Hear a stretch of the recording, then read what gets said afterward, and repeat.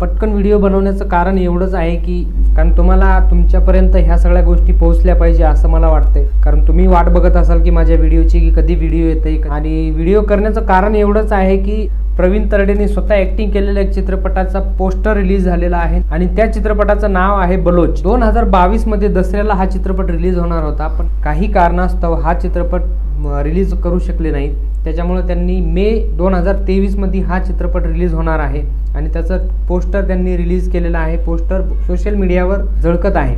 आणि त्यामध्ये प्रवीण तरडीची एकदम करकरीत नजर एकदम डॅशिंग चेहरा दिसत आहे. ह्या चित्रपटाची जी स्टोरी आहे ती आहे पानिपतच्या युद्धाच्या नंतर बलुचिस्तानमध्ये जे मराठे अडकून पडलेले होते त्या मराठ्यांची जी यशोगाथा आहे त्यांनी जे काही कष्ट सोसलेले आहेत जे काही त्यांनी हाल अपेष्टा सोसलेले आहेत त्यावर भाष्य करणारा हा चित्रपट आहे. चित्रपट मे बी चांगला असेल मला असं वाटतंय कारण पोस्टरमध्ये तर खूप जबरदस्त दाखवलेलं आहे. काय अवस्था असेल तिथं मराठ्यांची? कारण पानिपतला आधीच एवढ्या सगळ्या गोष्टी झालेल्या होत्या खायला काही नव्हतं त्यामध्ये परत तिथं बलुचिस्तानमध्ये त्यांना कैद करण्यात आलं. आणि मुघलांनी त्यांची काय अवस्था केली असून हा सगळा भाष्य तिथं बघायला मिळणार आहे. परत एकदा प्रवीण तरडे इतिहासाच्या सगळ्या गोष्टी घेऊन येतोय.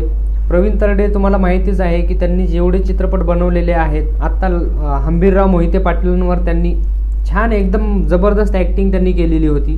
तसाच हा एक नवीन चित्रपट इतिहासाच्या भाष्य करणारा चित्रपट प्रवीण तरडे घेऊन येत आहे आपल्यासाठी. आणि मे दोन हजार तेवीसमध्ये हा चित्रपट आपल्याला चित्रपटगृहामध्ये बघायला मिळणार आहे. त्या चित्रपटाचं दिग्दर्शन कोणी केलेलं आहे हे सगळ्या गोष्टी ज्यावेळेस चित्रपटाचा ट्रेलर येईल त्यावेळेस मी नक्कीच तुम्हाला सांगणार आहे.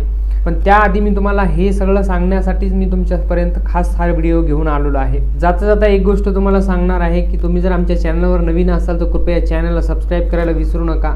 भेटूया आपण पुढच्या व्हिडिओमध्ये एका नवीन चित्रपटासोबत नवीन टॉपिकसोबत तोपर्यंत सगळ्यांना माझ्याकडनं राम राम